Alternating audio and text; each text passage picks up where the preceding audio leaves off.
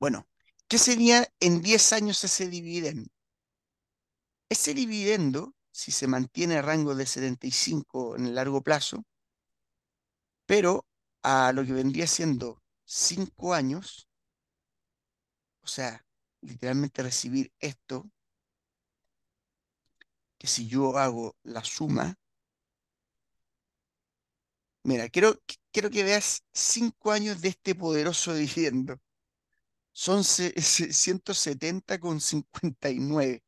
Que si yo divido esto en lo que vendría siendo el precio, Claro, fíjate, o sea, en 5 años recibimos prácticamente, a este hay que sumarle uno, pero prácticamente duplicar, eh, haríamos un 2,8%. O sea, claro. perdón, O eh, sea, por 2,8 veces. 2,8 veces solo por dividendo. Sí.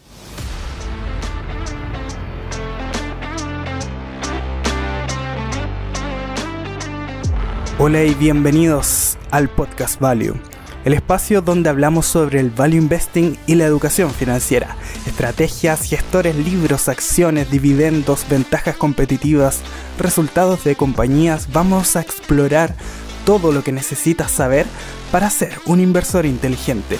Participa con nosotros en esta conversación de amigos apasionados por las inversiones, la bolsa y las finanzas. Sin secretos, sin filtros.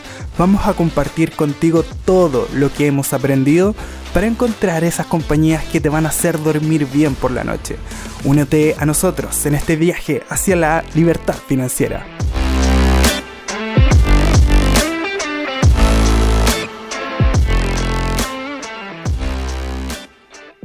En este podcast no realizamos ningún tipo de asesoría ni recomendación de inversión. Todo lo contrario, lo realizamos con fines educativos para que usted pueda tomar las mejores decisiones de inversión basados en su propio análisis. Muy buenos días, queridos inversores. Estamos nuevamente acá en este espacio tan precioso que hemos tenido con Nicolás. Esto es Pasión por Invertir. Y hoy estamos frente a una tesis de inversión de una compañía que es bastante conocida dentro del mundo del shipping, del shipping y que eh, nos va a desglosar nuestro querido amigo Nicolás. Em, también estamos junto a el auspicio, no, no el auspicio, pero estamos también en la plataforma de Spotify como el Podcast Value. Em, quiero agradecer a Nicolás por hacerme estudiar estas cosas tan maravillosas que son compañías tan diferentes, amigo. Mira, un banco en Kazajistán y ahora una compañía de navíos eh, de Noruega. Es una locura esto. Entonces, cada vez vamos aprendiendo un poquitito más y realmente es un agrado. Nicolás, ¿cómo estás? ¿Cómo estás? Eh, bueno, en primer igual eh, un poco afectado, es imposible no hablar un poco de hacer un, un mini homenaje al, Amigo, a lo que fue la, la sí. muerte de Akira Toriyama. A, a- a mí, bueno, más allá de que aquí hablamos de inversión y nada sobre anime, pero la verdad es que como pegó igual, o sea, Vaya que la, afectó. yo era las personas que llegaba a, a la casa, bueno, a las 6 de la mañana, de repente me despertaba Espérate, y veía Dragon Ball, weón. espérate, llegaba ahí a la casa a las 6 de la mañana. No, no, no, despertaba a ¿Qué, las cla- 6 de la mañana. qué clase de niño? la, Decía, "Weón, weón, llegaba a las 9 años, llegaba a la casa a no, las lo que 6 pasa de es la que mañana. también, también llegaba, llegaba al colegio tipo 4 4 y media, y igual me ponía PM. Dragon Ball. Sí, sea, hay que aclarar.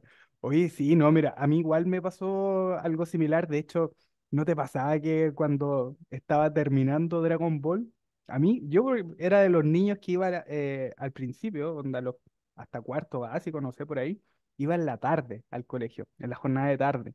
Entonces, em, Dragon Ball lo daban un poquito antes de irse al colegio. Es que eso Y es lo que yo, te digo yo, de Sí, pues, repente, yo terminaba de ver Dragon Ball y, y sonaba esa canción cuando sale Bulma y, y como que es muy triste. puta, y, y yo ya sabía que tenía que ir al colegio, despedirse de la familia. Era triste para mí. Ahora, con, cuando supe que Akira Toriyama había muerto, sí me pasaron cositas. La verdad es que sí. oye, Me puse a se- y, escuchar openings. y sabéis que, que una cosa impactante, Hace poco estaba escuchando una, una tesis de, de invertir en Toy Animation. Mira, mira, ¿y qué, de qué estamos hablando, eh? Era prácticamente, bueno, Toy, para los que saben del mundo anime y para los que no sepan, es literalmente la franquicia anime japonesa número uno a nivel global. O sea, tiene los derechos también de Dragon Ball Z. ¿O sí, pero es una compañía que fabrica juguetes? No, pues ¿O Toy no? Animation es anime. El, ah, ya, es, es como la, el- la plataforma en sí. Claro, piensa que One Ah, ya. Piece, na- eh, One Punch Man, eh, Dragon Ball Z, o sea, todo está financiado también por Toy Animation. Mira, no tenía idea. Yo ahí me declaro incompetente completamente. Yo disfruto de, de los animes. Sí, a mí me gusta harto el anime igual. Y, y Akira Toriyama es un gigante, un gigante entre los grandes del anime, De así que, hecho, eh, de los primeros que entró con el concepto del manga. claro, no, sí, una locura, un crack. Oye, Nico, em, triste, triste entonces por Akira, pero contento porque encontraste una buena compañía, ¿será? Oye, Nico, eh, después de ese comienzo triste eh, y, y depresivo de Akira Toriyama, vamos ahora a lo que nos convoca. ¿Cómo se pronuncia esto, Nico? Joder, Koei ¿qué? Autoliners. Sí, pero tiene que haber alguna forma media rara de decirlo. Bueno, vamos a decirlo como chilenizado nomás. Juega Autoliners. Esta compañía es el proveedor líder mundial en servicio de transporte marítimo dentro del segmento Roll On, Roll Off, que es como mi amigo el Rorro, ¿cierto? Ahora, esto es súper interesante porque básicamente es una compañía que es- está muy dedicada a cierto tipo de transporte. En este caso, em, principalmente está abocado a automóviles, maquinaria pesada, alta y carga fraccionada. Y cada año la compañía transporta alrededor de 1.6 millones de unidades equivalentes a automóviles, que serían los CEU, así como otras mercancías rodantes y estáticas. Vamos a hablar un poquito de la historia de la compañía y esta, eh, esta compañía se fundó en 1927, tiene harto, harto añito, o sea, es que aquí nos vamos a dar cuenta que hay ciertas partes de la compañía que no están, están como conectadas, pero no son lo mismo. Em, el que fundó la compañía es Liv Hoek, Hoek, no sé, fundó Lifehoy y compañía y em, en este caso, desde, desde que pasó eso, la empresa ha sido un nombre súper reconocido dentro del negocio, eh, dentro de la industria del transporte marítimo internacional. Y al principio, la empresa se había centrado en la propiedad y la explotación de los petroleros que eso era lo que partió, pero después, en la década del 60, la empresa obviamente hace lo que toda empresa que va ganando un poco de dinero piensan hacer, es diversificarse eh, y en este caso hubo nuevas actividades que introdujeron nuevos conceptos de transporte. Y la empresa principalmente empezó a transportar vagones de buques, vagones de buques de elevación y despegue, porque antes estaba operando transportadores combinados de petróleo, granel y minerales. Y eh, ahí se formó lo que se llama la Hueg Ungland Autoliners, que esa fue una parte del principio de la empresa que vamos a conocer hoy. Em, y esto fue una empresa conjunta que se convirtió en la base para convertir a Hoy en un operador de eh, roll-on, roll-off líder a nivel mundial. En diciembre del 87 comenzó la cotización de una parte de la compañía que cotizó en la Bolsa de Valores de Oslo, después de fusionar varias partes de la empresa. Y eh, este fue el proceso de consolidación que sentó las bases para el nuevo desarrollo hacia un modelo de negocio descentralizado. En el 2008, esto me pareció súper im- importante, que Höegh Autoliners trasladó sus actividades de propiedad hacia eh, Noruega. El mismo año, la empresa adquirió una flota de 12 vehículos. Esto es una cosa, pero grandota a nivel del shipping. 12 unidades son Es que que hay que, hay que mostrar el, yo creo que un, Sí, una eh, fotito del buque. mira, Literalmente hecho, parece un estacionamiento de... a ver, No, es- que eso ahí por dentro, es por dentro, sí. por dentro es un estacionamiento. Es como si fuera ahí el mall más grande del mundo, literal, así, un mall más grande del mundo y bueno, en Dubái. es que es que es una hueá brutal, o sea, y de hecho lo veis por dentro y es un estacionamiento, o sea, los autos, literal. Sí, no, no hay ningún problema. Entonces, imagínate, eh, lo que, lo que sucedió es que em, adquirieron una flota de Müller Maersk y, y yo, por ejemplo, que vivía en Valparaíso, esto se veía todos los días. O sea, esta marca, Maersk, es súper, súper conocida. Y ahí ellos se convirtieron en el accionista minoritario, con el 37,5% de las acciones de Hueca Autoliners. Después, eh, la misma empresa ejerció su opción de compra que tenían anteriormente de otro 1,25% de Hueca Autoliners. Y en 2021 la empresa eh, salió a- a hacer su oferta pública inicial y cambió el nombre de la entidad a em, Juega Autoliners ASA.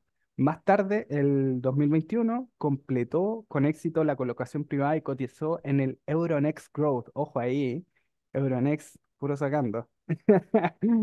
Y en 2022 van a cotizar en el mercado principal de la Bolsa de Valores de Oslo.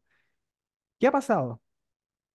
Ha estado, pero mira, esto es una, un pantallazo de lo que es Hulk Autoliners en TIKR.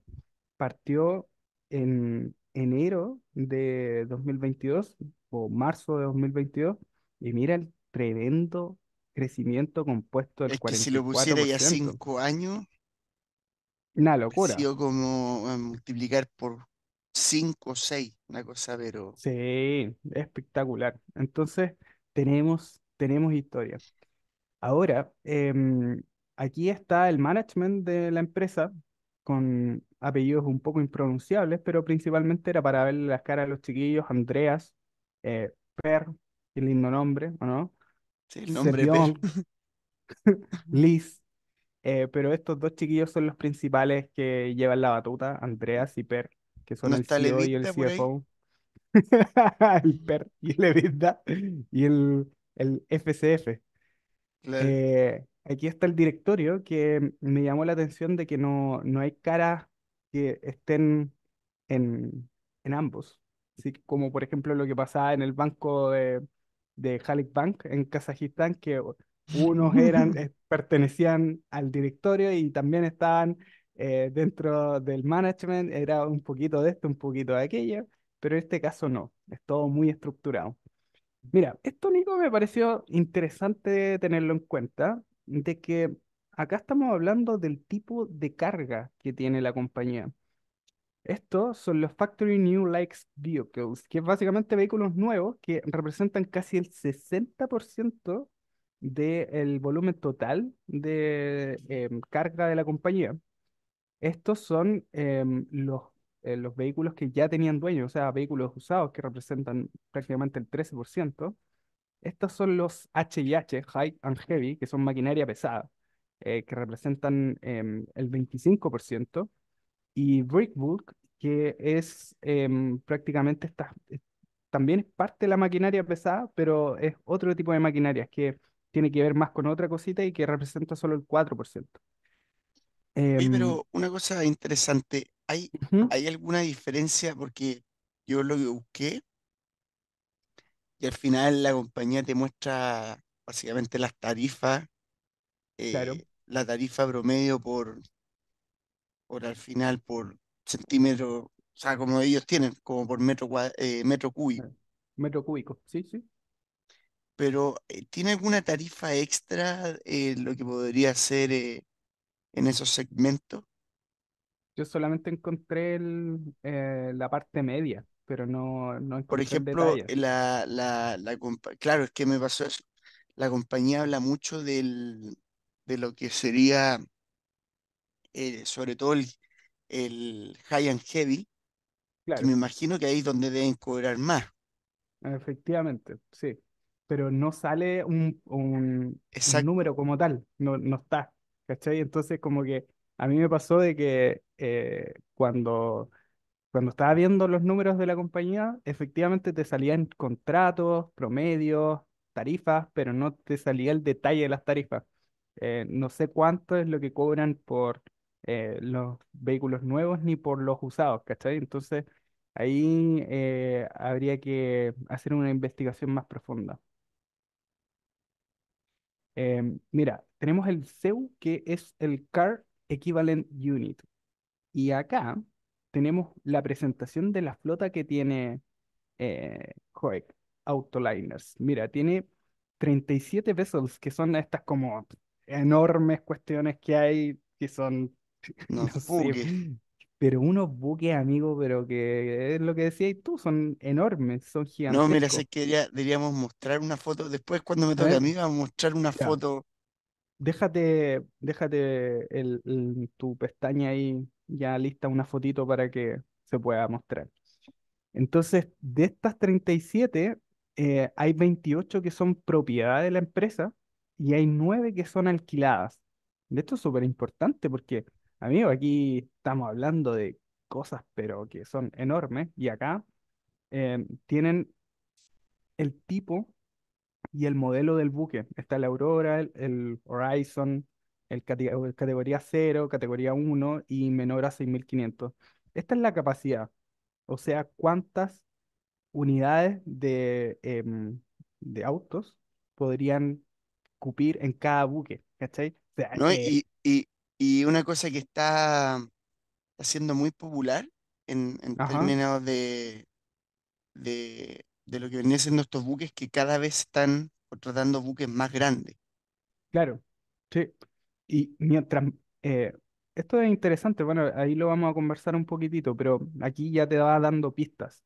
Te dice em, que tiene mm, emisiones más bajas los buques, o sea, se van haciendo más modernos, más grandes y que definitivamente los costos, de ahí lo vamos a revisar en los números, van siendo costos cada vez menos eh, o más chicos. Entonces, eh, son buques más eficientes, por lo tanto, te dejan un mejor margen. Y eso es lo entretenido de esto. Eh, pero aquí básicamente lo, lo que yo les quería mostrar es que eh, tienen propiedad de 8 buques Aurora que tienen una capacidad de 9100 eh, Car Equivalent Unit. Es muchísimo, o sea, eh, es enorme, enorme. Y, y nada, ahí están en, en fases de poder adquirir más. Em, aquí la empresa te da lo que vendrían siendo unos números eh, que son de el último, de la última presentación que dieron. 199 millones, em, un crecimiento del 7% de el, el quarter over quarter y el, tiene 197 millones de net profit. Y eso fue un aumento de un 39% respecto al trimestre anterior. O sea, muy, muy interesante. Me imagino que igual hay parte de la estacionalidad en este negocio, definitivamente. Y también hay algo respecto al, al canal de, de- al, al, al evento que hubo del canal de Suez y, eh, y lo que está pasando en el Mar Rojo también, ¿cierto? claro, o sea, es una empresa cíclica, eh, que en teoría, como todas las empresas del shipping, lo vimos con, por ejemplo, con, con Vapores o Hapag-Lloyd, Claro. que básicamente eh, el tema del COVID complicó mucho la, la cadena de suministro, eso hizo que las tarifas internacionales multiplicaran por 10, por lo tanto, cuando hay apalancamiento operativo también, o sea, una cosa pero brutal. Sí, Entonces, claro, estas compañías de repente, quizás, mira, y esto es lo impactante, quizás en ingresos pueden crecerte un 5 o 6%, pero si la, la compañía crece mucho en, el tema de la tarifa, abajo puede pasar de un margen del 5 al 40%. ese es el punto. Y, y claro, acá de, de hecho lo- los números lo están respaldando. Este número de acá me, me pareció interesante. 360 millones de dividendos que, pagados en marzo. Una, eh, una de estas embarcaciones que fue vendida y te dice la empresa la que fue vendida, Bangkok. Y eh, el 69% del equity ratio que subió respecto al trimestre anterior. Esto, Nico, em, creo que es súper importante. Esto me lo comentaste al principio, de hecho. Los nuevos contratos que está teniendo la compañía. Esto, eh, este número que está acá es básicamente el que nos está dando una buena cantidad de alegría, porque esto te está diciendo el, eh, el monto promedio que tienen los nuevos contratos que son de 100 dólares por eh, esta medida que está acá, CBM, ¿cierto? Claro. Y em, generalmente están teniendo contratos, el- la duración promedio de los nuevos contratos es de 4.3 años. O sea que estos son los contratos del año 2023 y que están teniendo eh, Oye, este, y esta que lo cantidad de siguen años. renovando, y que lo siguen renovando alto. Y e- ese es el punto. Y ahora eh, con las tarifas que están actualmente, los márgenes, porque esos nuevos contratos están con las tarifas actuales. Y esto es lo que nos está interesando porque vamos a ver en los números que ha ido creciendo muchísimo eh, esa tarifa. Y el portafolio de contratos de 2024, ellos esperan que em, parte de los contratos nuevos esté el 80% para eh, finales de 2024. Entonces, estamos hablando aquí de que hay una cosa bien interesante en esta compañía y respecto al guidance que nos están dando. ¿Algo que comentar aquí, Nico? Fíjate esto. O sea, aquí hay dos puntos que son bastante interesantes. 4,3 años, 2023, tenía el 24, 25, 26 y podría ser el 27 por ahí, y hasta un poquito más. Pero eh, fíjate que van a renovar 4,6 millones. Sí, acá. O sea, y si esas renovaciones se hacen a 100 dólares, probablemente todavía veamos un aumento significativo, donde eh, no está bien explicada la duración, pero me imagino que deben ser en, en tiempos similares. Claro, Y de hecho la compañía del, desde el 2020 hasta lo que es hoy en día no ha parado de subir el, el, el- básicamente el contrato, o sea, los, los ingresos, o sea, lo, ha pasado de 45, 50, 62, eh, 75 y hoy día ya estamos llegando como 80, 82 por ahí. Y Claro. podría llegar a 85 el 2025. O sea, eh, entonces es una cosa muy interesante porque estamos en la parte muy alta del ciclo. Creo que la compañía nunca había tenido estas tarifas, nunca en su historia. Y, estamos en la parte que es muy alta del ciclo, que quizá a lo mejor todos los libros de inversión te dicen, invierte en compañías cíclicas cuando, cuando están en pérdidas, pero eh, la verdad es que si tienes cuatro años de beneficio ganando un 37% de dividendo eh, anuales y que a lo mejor dentro de los próximos años no te ganáis el 37, pero te ganáis un 30, un 25, es que es brutal. O sea, es algo eh, realmente único y por eso la compañía ha multiplicado por lo que ha multiplicado, lo que veníamos hablando de, estas compañías cuando, cuando te, te fijas los resultados en el dividendo y que este sea creciente, bueno, ahí está el ejemplo. Ha, ha Sí, multiplicado por 5. espectacular. Em, lo otro es que em, existe esto de, em, de la situación de vehículos exportados desde Asia. La cantidad de muchísimos vehículos que han estado eh, exportando, sobre todo de China, eh, te das cuenta que aquí es muchísimo. Em, el boom de los, de los vehículos chinos ¿no? ha estado en todo el mundo. Entonces, esto definitivamente nos Y va que se va a seguir manteniendo según los sí, analistas. efectivamente. Entonces, em, hay muchas cosas que nosotros estamos viendo que podrían eventualmente em, tener un impacto positivo en el corto plazo, pero hay que De hecho, te tengo que contar algo antes de, de eso. Ándate, ándate al gráfico donde está el precio. vamos al gráfico donde está el precio. Ahí está. Esto es muy interesante. ¿Te fijas que llegó a estar en 140? Sí, sí, Hoy sí, está más o menos como a 93 y todo. O sea, la compañía igual se ha pegado un, un- un buen porrazo, pero sí, eso está justificado en base a dos cosas. Uno que pagó un dividendo como de 19 eh, coronas noruegas, creo que esa es la moneda. Y lo otro, que salió una noticia que, que igual impacta los resultados y que vamos a estar viendo, quizás no ahora nos demos cuenta, pero puede ser, puede ser algo. Mira, yo creo que va a ser bajo, pero hay que comentarlo, que es los nuevos aranceles que salieron para los autos eléctricos chinos en la Unión Europea. Y ese riesgo es, bueno, estuvo presente en prácticamente todo el año, eh, 2023, pero eh, ya de pasar a ser un rumor va a ser una realidad. claro, Ahora, eso eh, podría afectar, por ejemplo, a básicamente a la- a las compañías chinas, lo- las compañías de vehículos, pero no necesariamente afecta a lo que vendrían siendo los precios del chip. Y eso es lo que un poco hay que observar en esta tesis, porque si al final incluso hasta podría ser un efecto positivo. ¿En qué sentido?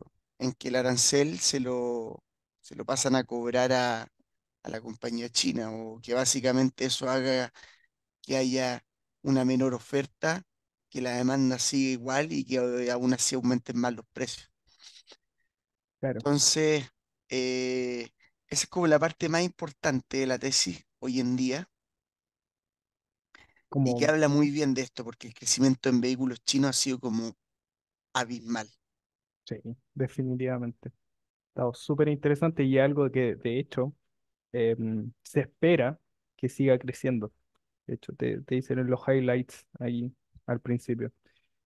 Y esto, esto, Nicolás, esto fue un gran, gran dividendo pagado. Aquí em, estamos viendo que em, en el gráfico nos dicen cuál es el dividendo que estuvieron pagando. Ha ido pagando dividendos crecientes desde septiembre de 2022 de 15, 20, 44, 60, 67, 70 y los impresionantes 360 millones pagados, un aumento del 414% respecto a noviembre Mira, de 2023. ya que planteas eso, eh, que esto es muy interesante, y piensa esto, mira, esta compañía partió cotizando, para que se hagan una idea,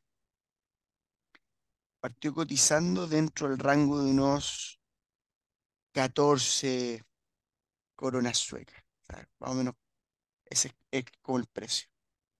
Hoy en día la compañía multiplicada por 4,39. O sea, ¿y qué es lo interesante? Que hoy en día el dividendo está de 31,09. Ese dividendo, de hecho, este año podría crecer a 34, que es lo que vamos a ver. eh, entre 30 y 31, 32 a 34. Si tú lo hubieras comprado eh, cuando salió esta compañía, hoy estarías ganando un 200% en dividendos anuales. Una, una brutalidad, una bestialidad. Claro. Más lo que habrías multiplicado por 4,39. O espectacular. sea, Súper, esa persona que no ha vendido hoy día recibe el doble anualmente de lo que invirtió. definitivamente. Una locura. Oye, Nico, ¿y qué te parece si vamos definitivamente a los números? Vamos. eh, voy a compartir pantalla. Vale. Está bueno el Caribe, ¿no, Nico? Está bueno el Caribe. Está, aquí está más fresquito. Aquí estoy yo, to- todavía con calor. Mira qué preciosa la Mira, primero vamos, vamos a partir con eh, un mini video para que, para que vean el tamaño de esto, o sea, es que es una Ese, cosa, ese, ese mismito fue el que vi. no sé si se escucha, pero lo importante es ver un poco. Mira, Eh, mira es eso. bastante interesante Es enorme. Mira, o sea, eso es un, eh, un tipo de embarcación. Sí, no es una... Mira, esas son máquinas que son gigantes, transportan camiones de camiones. Claro, es como lo, de los eso, Simpsons. por ahí está un autito. Mira, pues este, es- si uno se pone a mirar la, la escala de las cosas, es pero una locura. Sí, no, y Mira, espérate, que todavía no he visto... el, el más grande, estamos hablando de, Ah, por acá, de hecho. Mira, te fijas que también dicen que están reduciendo el, el tema del petróleo, que es claro, algo bastante interesante. Esto es lo que te claro, decía yo.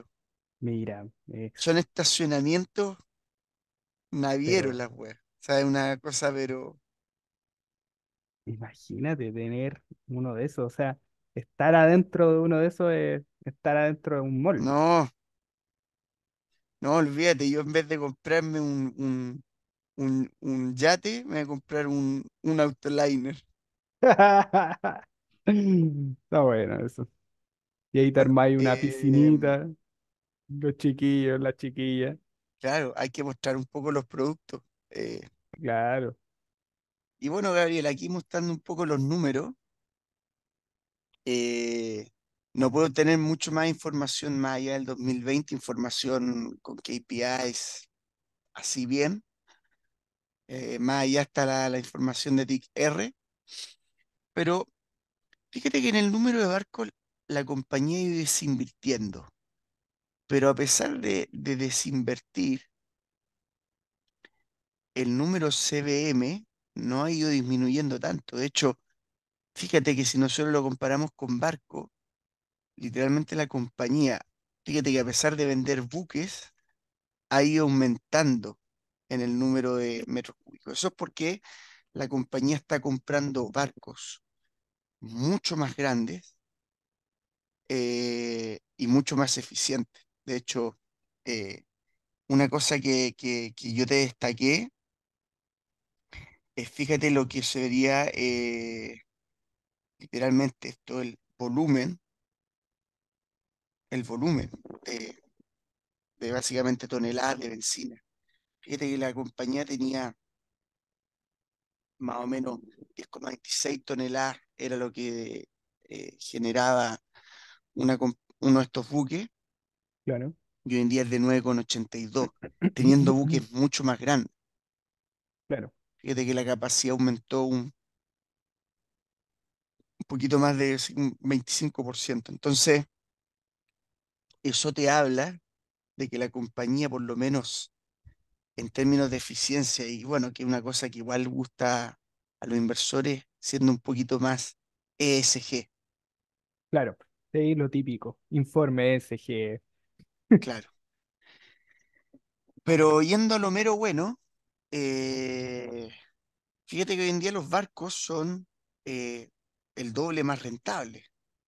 ¿Y eso por qué ocurre? Porque si nosotros vamos a esta métrica, que es la más importante, por lejos, la, esta es la métrica donde tenemos que entender todo, que fíjate que eh, los ingresos por metro cúbico han sido, eh, por ejemplo, el 2020 de 46, eh, 45,9 dólares Ya, por metro cúbico y hoy en día está en 76. ¿Por qué está en 76 siendo que estábamos hablando de contratos a, a 100? Porque básicamente hay un montón de contratos, eso es lo bueno de esta compañía, que hay un montón de contratos que todavía están a plazo fijo. Entonces, ese plazo fijo, mientras termina contratos, eh, va aumentando eh, lo que vienen siendo los ingresos por esos nuevos contratos. Y una cosa que me ha ido gustando, que puede ser, que esta es como sería la tesis a muy largo plazo, que los nuevos contratos no sean ni tan bajos ni tan altos. O sea, que estén en un rango de eh, 75 dólares por metro cúbico. Sí, lo puse en, en un escenario, no sé si conservador, pero, pero bueno, la compañía a 50 va a seguir ganando dinero. Y lo otro que, que está siendo mucho más eficiente en los costos. Entonces, si tomamos en cuenta esto, que es la métrica más importante, eh, hoy en día, este último mes salió que eh, si bien bajaron un poquito las tarifas, eh, podría estar en el rango, esta compañía para el 2024, dentro de unos 82, 85 dólares por metro cúbico. Básicamente me fui al rango 82. Por supuesto, el rango más bajo. Eh, ojo, no es un guidance, pero la compañía algo te ha dicho sobre, sobre el tema. Eh, y bueno, también genera otro tipo de ingresos, ingresos por otros recargos, que significa que es, eh, son recargos que te va cobrando la compañía por básicamente por lo que el aumento del precio del, de lo que viene siendo el combustible. Entonces, ahí te va colocando un recargo. Fíjate que incluso eh, nos damos cuenta al tiro porque aquí, fíjate que aquí fue cuando estuvo el pic del, del precio del petróleo. Claro, Y en cuanto a volumen, y esto es lo muy positivo, que eh, la compañía tiene una directiva de, de decir, oye, ¿sabes qué? Eh, hagamos que estos barcos sean más eficientes, que consuman menos. Y lo han, y lo han hecho muy bien, o sea, han ido reduciendo el, el nivel eh, que requiere en términos de, de petróleo. Fíjate que si nosotros lo vimos en barco, a pesar de tener eh, barcos con mayor capacidad, esto es muchísimo más, o sea, de tener mayor capacidad, la, la compañía ha sabido eh, reducir eso.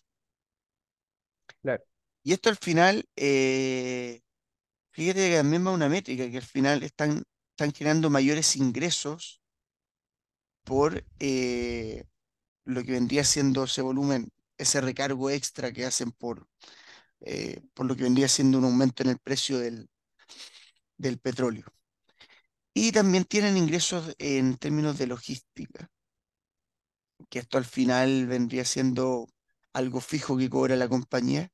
Fíjate que es súper eh, fijo este tipo de ingresos y cobran alrededor de eh, 0,24 básicamente por metro eh, cúbico. Y bueno, eh, en ingresos totales, la mayoría de la parte de los ingresos se lo lleva por lejos el tema de los ingresos de las tarifas, que ahí es donde vamos, vamos a poner mayor énfasis. Y si consideramos los ingresos totales por eh, básicamente metro cúbico, fíjense cómo ha ido mejorando esto. O sea, pasó de 54, 57, eh, 79,5 y eh, hoy en día 88,45. Y esto es algo muy positivo, porque fíjate que ha ido aumentando. ¿Eso qué quiere decir? Que al estar en la parte alta del ciclo, la compañía ha sabido que esos nuevos contratos ha sabido sacarle provecho. Y como son a largo plazo, estos contratos, al igual que la tesis de GCL, esto eh, queda alto por mucho tiempo. Entonces, claro. perfectamente podríamos ver años eh, en que esto básicamente se comporta de esta manera. Eh, y esto es muy positivo porque si nos vamos, por ejemplo, a los costos, ¿qué, qué, qué tipo de costos tienen? Tienen costo de los buques, que básicamente son lo- los gastos que generan eh, estas medio mansos ni que buques. Bueno, Tienen los lo costos de los viajes, que es lo que vendría siendo el- básicamente el costo del petróleo, que está eh, muy influenciado. Gasto en alquiler. eh, fíjate que no, no gastan tanto en los alquileres de estos buques, que esto es algo bien positivo. Claro, no es como el tema de los aviones que tienen un gasto elevadísimo de em, alquileres y también como de estacionamiento. Claro. Y si nos vamos, por ejemplo, eh, gastos corrientes, que claro, esto es lo que vendría siendo más los gastos como que tienen el día a día, justo con los gastos administrativos, que aquí es donde básicamente es el sueldo del personal, eh, también suelen ser bastante fijos. Entonces, fíjate que todos estos costos, salvo lo que venían siendo los costos de los buques que hay aumentando debido a que cada vez están comprando, si bien no más buques, pero sí con una mayor capacidad, eh, tenemos un costo total que es bastante fijo.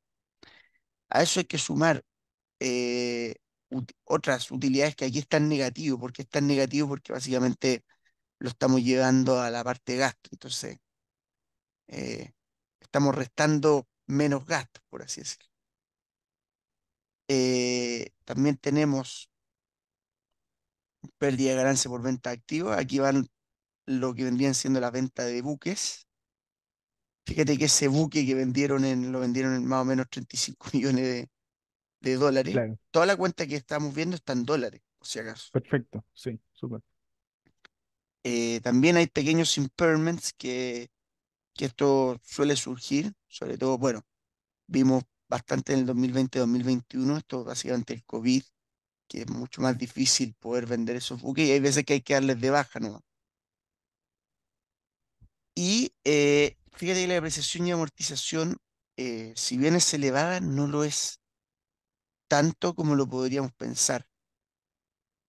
O sea, sí, se ve elevada, pero pa- para el tipo de negocio que es, eh, no lo es tanto. Y una de las cosas que eh, nos vamos a fijar es estos costos que estamos asociando a, en cada una de las cuentas por metro cúbico, que así es como tenemos que proyectar los costos. Entonces, fíjate que eh, los costos de los buques más o menos han estado en un rango similar entre los 15, 16 dólares por metro cúbico. Los gastos por viaje, fíjate que ha ido disminuyendo. Esto es en parte por la reducción eh, que ha tenido en términos de petróleo por buque, Claro, los gastos de alquiler. Eh, aquí hay que ver un poquito más cómo sea ambiental, pero no suele, no es la partida más relevante. Gastos corrientes que han estado en torno a 6,4, 6,2, pero fíjate que a largo ha ido bajando. Y fíjate que los gastos administrativos también han ido, han ido bajando, que si bien son un poco más variables, un poco menos variables, a mayor nivel de contratos deberíamos esperar que esta cifra se, se mantenga, claro. ¿Mm? pero en ningún caso suele ser mucho más distinto. En utilidades por negocios conjuntos estamos considerando una media de 0,05 y básicamente en la depresión y amortización estamos considerando básicamente una media de 9, 9 dólares por eh, metro cúbico. Entonces, si nosotros consideramos esto, fíjate que el costo total eh, aumentó en estos, en estos dos años. Aquí hubo fuertes inversiones, también por parte de lo, de lo que vienen siendo los buques, pero que generalmente si uno lo normaliza debería estar en torno a los 43, 45, incluso hasta podría Claro, ser 40 eh, dólares por metro cúbico. Entonces, ¿esto qué, qué, qué influye más lo que vendría siendo ese 6,67, que a lo mejor, claro, podría ser un 8,95 eh, normalizado? Aquí fíjate que nosotros hicimos una ganancia por, por activo. A futuro no puedo hacer eh, normalizar eso, tengo que normalizarlo. ¿Y eso qué nos da? Fíjate que Levit lo que ha pasado, ha pasado de 22 millones de dólares a 589. O sea, estamos multiplicando por, muchísimo. por 20 veces, o sea, una, una cosa, pero más de 20 veces. Entonces es algo prácticamente brutal. Y, y fíjate, eh, lo que veníamos diciendo, nuestra métrica más importante. El EBITDA ajustado por metro cúbico, hemos pasado de ganar 1,61 dólares por metro cúbico a lo que vendría siendo 36,08. Y el 2024, teniendo en cuenta estos contratos a 82 en promedio y costos totales eh, entre 44 con 46 y eh, entre depreciación y amortización y la utilidad a 8,95, estaríamos ganando 41,21 dólares eh, por metro cúbico. Y fíjate que esto, eh, a pesar de normalizarlo, creo yo que se podría mantener un rango alto. Básicamente, ¿por qué factores? Uno, que a futuro esperamos que estos gastos corrientes eh, y lo que vendría siendo los gastos de viaje vayan disminuyendo a largo plazo. Claro. Y eh, dos, porque creemos que esto podría llegar a, a mantenerse. Ahora, en caso de no ser así, eh, fíjate lo que podrían ser estos números. O sea, digamos que ya en el 2028, supongamos que hay una fuerte caída y se mantiene a 50. Bueno, ¿cuánto es lo que esto nos genera? Fíjate que nos generaría igual dentro de unos rangos de 10 dólares, 10, 11 dólares por metro cúbico, que sigue siendo muy bueno. O sea, no es algo eh, tan, tan negativo, porque eso haría que el dividendo, eh, que ya vamos a ver más adelante, pero, pero para anticiparlo un poco, eh, que aquí estaría, el dividendo fuera de 9 por ahí, que ojo, 9 eh, en, lo que vendría siendo a estos precios, que sería como 94, estamos hablando de un 10%. Entonces, esta empresa ya normalizada, lo que vendría siendo un ciclo normal, te estaría aportando un 10% de dividendo. Que no es malo, no es para nada malo. Entonces, eso es lo que nosotros vamos con, con este tema. Entonces, ¿qué es lo que podemos tener? Podemos tener cuatro años de muchas utilidades, pero puede ser que los próximos años no sean eh, años tan negativos para esta empresa.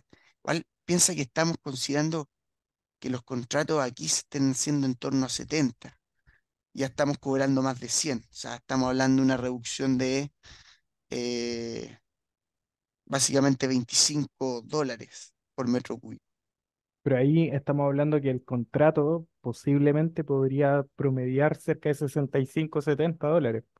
No, porque básicamente todos estos contratos que van a pasar a 50, 50, 60, se van a transformar en el rango alto.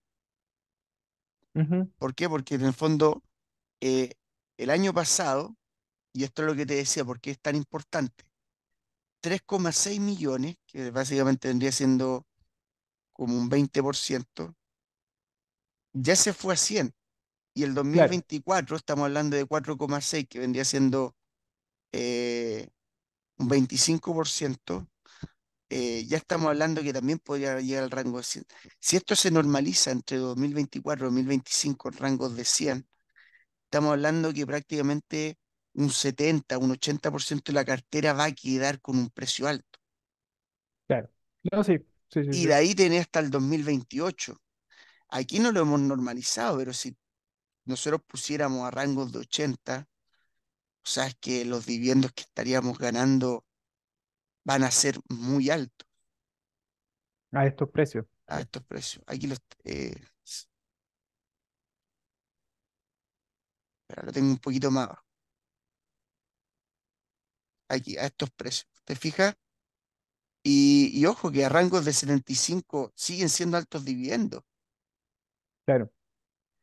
Ahora, ¿por qué el dividendo, claro, crece a muy largo plazo? Porque básicamente estamos añadiendo 15.000 unidades, eh, también eh, unas 15.000 metros cúbicos por barco.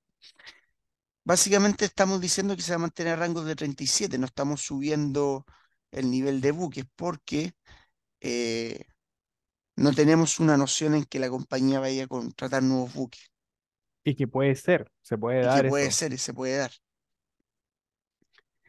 Entonces, eh, ¿qué es lo que veo yo? Eh, si nos vamos a las cuentas ya más normalizadas, ha pasado de 747 a eh, 1446. Básicamente es doblar. Fíjate la, eh, cómo ha ido aumentando esos ingresos. ¿Qué esperamos nosotros? Que para el 2024 podría aumentar entre un 10,5 y que para los próximos años va a aumentar poco en términos de ingresos. Que esto es lo que te venía diciendo yo. O sea, la el compañía, aumento de ingreso. claro, la compañía prácticamente se va a mantener en, estos rangos, entre rangos de eh, 1.600 a, a 1.800 millones por ahí. Y claro, a muy largo plazo debería superar los 2.000, pero eso sí crece a unos 15.000 metros cúbicos. ¿Qué es lo bueno? Eh, el margen operativo disminuye muchísimo. A 75 tampoco es que aumente mucho. Y luego vuelve a disminuir por esta característica que te veníamos diciendo, ¿cachai? Que estamos hablando de que estas compañías van a ser más eficientes porque los barcos son más ecológicos, requieren menor nivel de combustible y que los gastos corrientes también disminuyen. Eh, la precisión y amortización, al no contratar nuevos buques, debería mantenerse. Nosotros la ponemos un poco más elevada, ¿por qué? Porque aumenta la capacidad de esos buques. Y eh, fíjate que los intereses que paga son bastante bajos. O sea, prácticamente la compañía paga muy poco interés. Y de hecho lo ha ido reduciendo. Entonces es algo muy, muy positivo. Fíjate que ya el, el 2022 no, casi ni pagó interés. Eh, ¿qué otro tema? Bueno, aquí está el net income. Entonces pasó de generar pérdidas de prácticamente de 18 millones a ganancias que podrían ser de 660. Una locura. ¿cachai? Fíjate lo que podría ser ese, ese margen, eh, ese margen neto. Claro, anormalizado ya debería caer a 37, 38, pero sigue siendo altísimo. Muchísimo, muy alto. De hecho, quiero que veas algo que si no yo me meto eh, en los números las compañías lo valorara por valor en libros, cualquier cosa, eh, que es muy interesante esto. Eh, fíjate esto, que es impactante. Mira ese ROE y ese ROIC. Estamos generando Sí, ROEs y ROIC del 47, 30%, que podrían ser sostenibles a esos eh, 3, 4 años. sí, Y de hecho, si baja la tarifa a 75, va a seguir siendo elevada. Claro, Y eh, lo que estamos pagando en valores libros, o sea, es, es que es una locura, porque hoy día está a menos de tres veces per el yield de 36 y, y claro, valorando eh, esta compañía en valores libros, es que literalmente es una locura. Ojo que valor contable aquí está en eh, dólares. Entonces, si nosotros transformamos esto a dólares, prácticamente está cotizando un poquito más que valores libros. Claro. O sea, si estamos destinando un 40%, si lo valoráramos eh, en valores libros, o sea, esta compañía iría por, por lo menos cotizar unas cuatro o cinco veces valores libros. O sea, Definitivamente, sí. 4 eh, por lo que vendría siendo siete coma cuatro 29,6. Y esto yo lo divido en el tipo de cambio que es 0,0 eh, 95. ¿Cachai? Claro, son tres veces, sí, tres o cuatro veces eh, lo que está cotizando ahora. De hecho, claro, ahí te dicen nueve, nueve dólares sería el cambio y si te da No, es, em, es una es brutalidad, es una brutalidad. Entonces, lo que tendríamos que enfocarnos, que es donde está el mayor riesgo, creo yo, de esta compañía, eh, es en esto. O sea, lo que vendría siendo esto, si es capaz de mantenerlo, si los aranceles no afectan a lo que vendría siendo el precio. Por, por el momento, eh, hoy día, gracias a bajón, estamos ganando muchísimo más dividendos. Y claro, te me van a decir, oye, pero Nico, no hay mencionado lo que ha sido el flujo de caja. Bueno, hablemos del flujo de caja. Veamos, La deuda total eh, ha ido disminuyendo año a año. Aquí nosotros somos conservadores. Básicamente, una vez que la deuda disminuye 10 millones cada año, no sabemos qué puede pasar. Y básicamente esa, eh, esa disminución, ojo, que no va a deuda neta, sino que en el fondo esa disminución solo afecta a deuda neta, pero no, no, no, no estamos incluyendo lo que vendría siendo el diferencial de caja entre el dividendo y la utilidad de la compañía. Eh, fíjate el CAPEX de ventas, eh, claro, aquí aumentó muchísimo. Este, no sé cómo lo consideró la compañía, eh, 2020-2021 a mí me sorprendió esto. Quizá había algo que no estaba viendo, no sé, o no sé cómo lo calculó, pero sé que eh, estos cálculos están, están bien hechos. O sea, fíjate que eh, es muy parecida a la depreciación y amortización, claro, quizá un poco más elevada, pero va en el rango. O sea, estamos hablando de que esta compañía, eh, claro, tiene un CAPEX elevado, pero por el tipo de negocio. Y básicamente estamos considerando un normalizado de eh, 10% súper, en largo plazo. Eh, cuentas por cobrar son bajísimas, bajísimas. O sea, estamos hablando de muy, muy bajo. O sea, 33 días, 27, 22. Probablemente un normalizado sería un rango 25. Eh, cuentas por pagar aún más bajas. Estamos hablando de 11 días prácticamente. Y el working capital, fíjate que es bajísimo. Estamos hablando de 45 millones de lo que vendría siendo 589. Y ojo que no hay que considerando el, el- el working capital como tal, sino que la variación. Y la variación la es aún más baja. no. Sí, Entonces, prácticamente esta compañía eh, es muy similar el flujo de caja. Fíjate que eh, calculamos 659 y en flujo de caja son 603. O sea, y eso que estamos considerando una- unos 16 millones de variación de working capital. Entonces, en flujo de caja eh, por acción es muy similar a lo que venía siendo eh, básicamente la utilidad por acción, perfecto, que aquí está. Entonces, es algo muy interesante. Y si nosotros consideramos un de Free Cash Flow de 10 veces, ¿qué es 10 veces? Para que te haga una idea. Son 10 veces, que utiliza 10 veces, es que nos den un dividendo del 9%. O sea, la compañía ok, básicamente nos estaría dando un, un 9% de dividendo por esas 10 veces. Si yo considero a lo mejor 8 veces, 8, que aquí, eh, claro, sería un 11%. Eh, entonces, ¿qué es lo que yo sugiero? Obviamente aquí estamos hablando de reinversión. Esta compañía hoy cotiza per 2. Bueno, ¿qué sería en 10 años ese dividendo? Ese dividendo, si se mantiene a rango de 75 en el largo plazo, pero a lo que vendría siendo 5 años, o sea, literalmente recibir esto, que si yo hago la suma,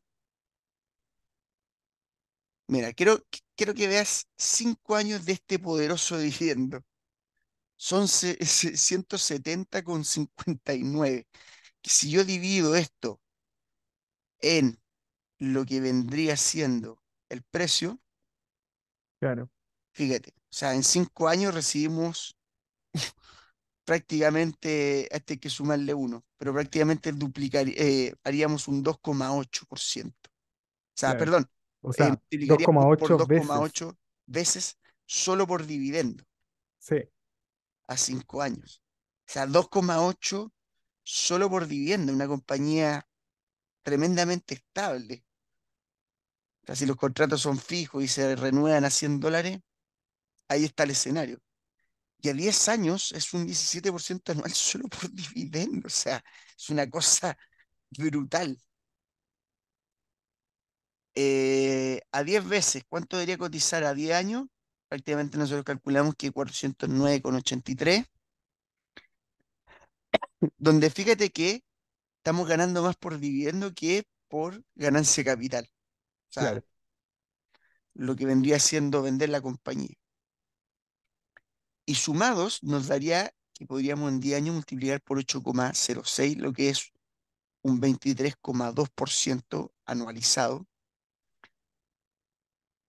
Pero, y aquí va lo interesante, y esto es lo que me gusta este tipo de industria, alto dividendo a PER muy bajo, que podría ser unas 4 veces, ojo que aquí está a 143, 145. Estamos hablando, a lo mejor compro todo el dividendo a 97, se mantiene barato dos años, luego sube, o sea, podemos acumular mucho dividendo per 4. Pero fíjate que eso nos daría una rentabilidad adicional de multiplicar a 10 años por 14,23. Es una locura. Y ahí es donde hablamos de generar un 30,41% anualizado. Muchísimo, es muchísimo. Y claro, ahí ya estamos sumando dividendo y ganancia de capital. Claro, básicamente ¿por qué? Porque tú, imagínate, cada año recibir un 37%. Pa, pa, pa, recibe, recibo, recibo. Y la compañía no sube su precio. Claro, Hay que terminar comprando. De hecho, una muy buena estrategia, por ejemplo, era comprarlo ahora, una vez que eh, con el dividendo bajó.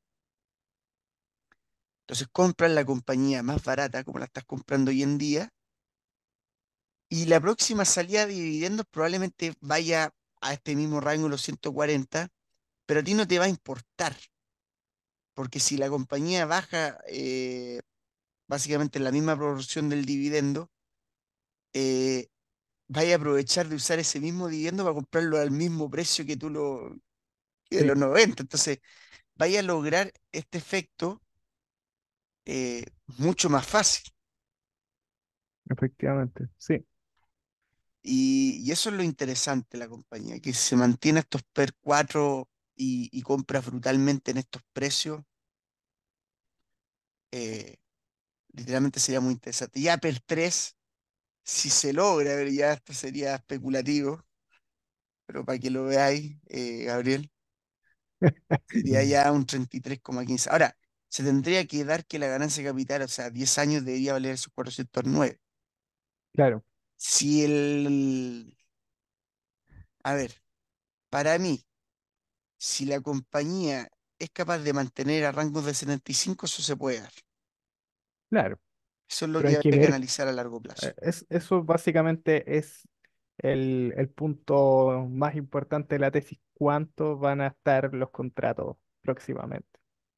Claro, y uno, y a lo mejor ustedes me podrían decir, oye, pero Nico, aquí no hay visto ni la cartera de buque, ni, ni nada de eso. Bueno, no creo que esta compañía la venda, entonces verlo por activos, pero fíjate que por activos es muy interesante el balance de esta compañía.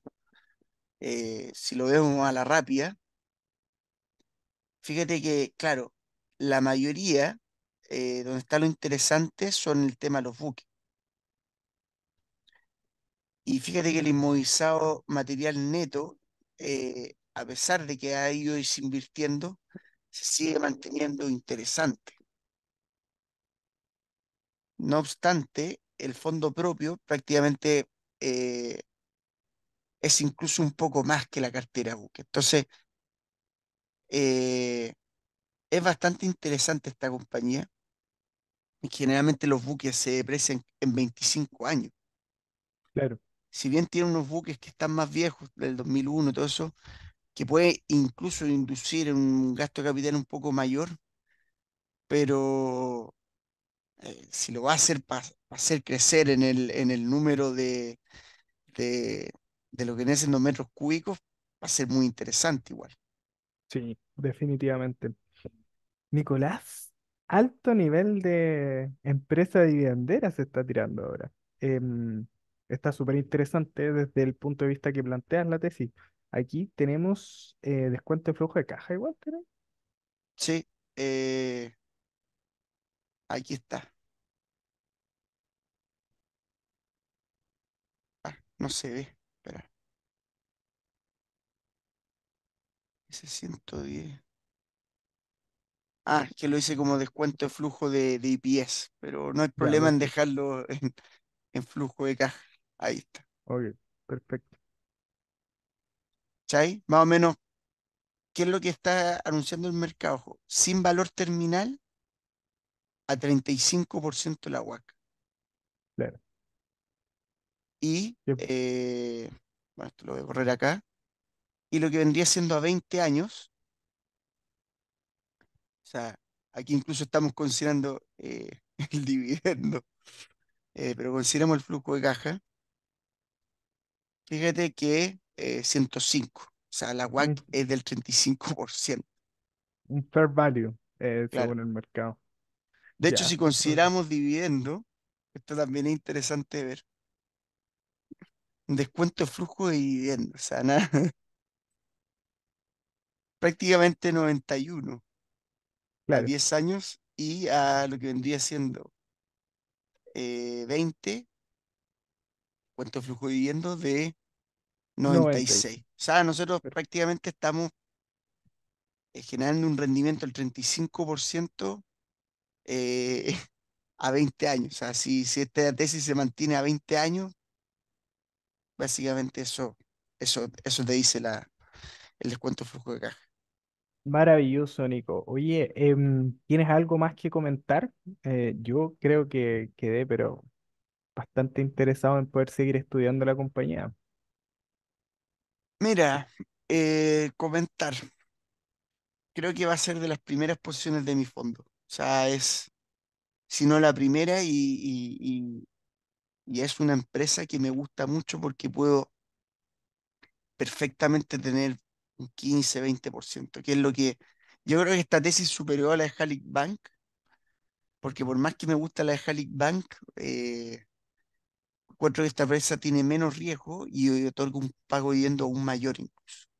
Sí, ¿Y definitivamente. por qué me gusta el dividendo? Porque eh, si yo tengo, eh, bueno, lo puedo mostrar, pero básicamente estoy eh, dejando el portafolio.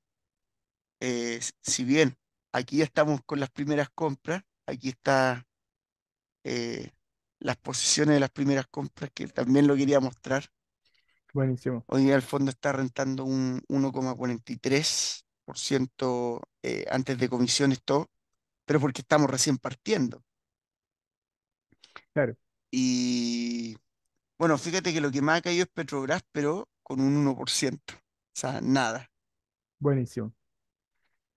Y fíjate que, eh, claro, aquí para mí lo ideal sería tener un 20%. O sea, si nosotros en estas tres tesis, que Fonterra probablemente sea otra tesis de inversión de la que vamos a hablar, eh, o sea, manteniendo estos, estos porcentajes, ojo que XTB no ha subido muchísimo. Fíjate, Sí, nosotros estamos recibiendo prácticamente un 9,35% de rentabilidad por la subida de XTB. Pero fíjate lo interesante, eh, ¿cuánto estaría generando de día en Gire el fondo? 16,62. Yo, mira, insisto, pregúntate alguna vez, Gabriel, ah, y te lo digo así, si has visto un fondo más barato que este, Claro, no, definitivamente. porque, a ver, ¿qué me permite posicionarme eh, fuertemente aquí? Que todos estos dividendos que genere, que fíjate que en las primeras, bueno, literal, en las primeras cuatro posiciones, eh, las primeras cuatro posiciones prácticamente son un 12% de dividendo. Entonces, con esto, si es que ocurre una bajada de mercado del 25-30%, que Dios quiera que no pase, pero pasa, eh, en dos años podrías generar una caja enorme. Quizá un Efectivamente, sí. 16, un 18%, o sea, ¿te fijáis?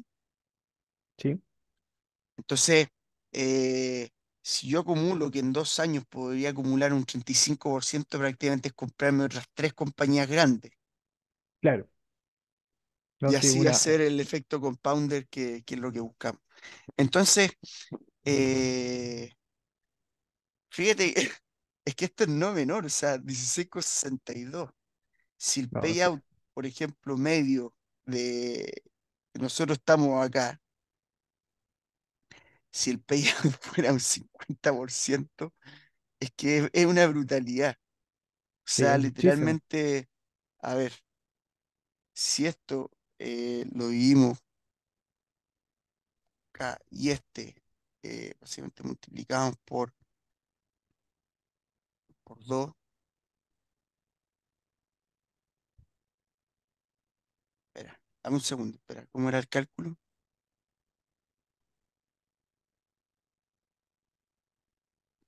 ¿Cómo era el cálculo esta? Espera,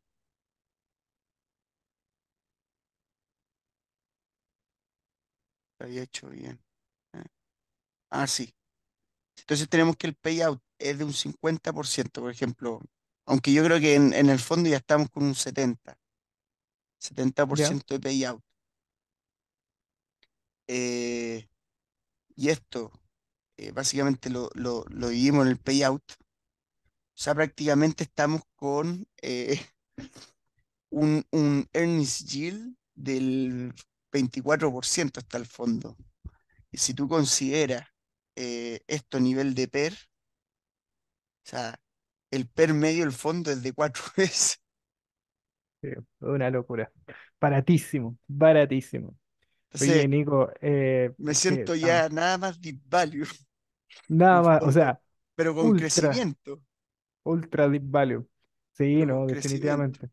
Creo que eh, deberíamos ver una, una posibilidad quizás más adelante, cuando ya esté más asentada la situación, de revisar a fondo la cartera de, de este fondo de inversión. Así que probablemente lo van a pedir ahí los chiquillos.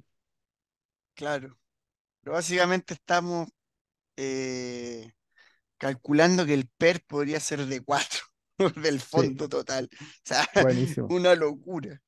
Buenísimo. Pero Oye, Nico, y lo otro que, bueno, ya para ir finalizando, te quería comentar que eh, los chicos que generalmente nos están siguiendo en las tesis y todo, es súper entretenido porque realmente em, no es como que nosotros damos una tesis y salen a comprar, sino que se cuestionan las cosas y que realmente están estudiando las compañías y ven si es que eh, hacen match con lo que ellos están eh, dispuestos a comprar. Por ejemplo, en mi caso yo te comentaba anteriormente que eh, no me sentiría cómodo comprando un banco en Kazajistán, ¿cachai? Eh, pero a pesar de todo eso, siento que es una muy buena compañía. Y en este caso también, hay el, el shipping per se, hay un tipo de inversor que odia el shipping, como que no, o no lo entiende, o como que no le gusta a la es que es industria por difícil de lo cíclica. entender, no, no es algo fácil. sí, definitivamente. Entonces, es interesante ver este otro tipo de industrias y irlo revisando para que podamos seguir Sí, aprendiendo. Por ejemplo, imagínate, el mundo, el mismo mundo del shipping. Yo estoy muy eh, bajista con Hapag Lloyd, pero estoy muy alcista con, con Höegh Autoliners. Claro. Y los dos hacen shipping. Entonces, Sí, el mundo del shipping es muy distinto. Está el dry bulk, está eh, básicamente todo lo que es contenedores, los autoliners, hay de todo. Es una cosa Sí, pero impactante. sí, Oye, y una cosa interesante, a ver, eh, que no mencioné, pero que eh, teníamos la tesis de APP, eh, teníamos, creo que si no me equivoco, a la Stellantis, eh, el nivel de cantidad de vehículos que se vendía al año.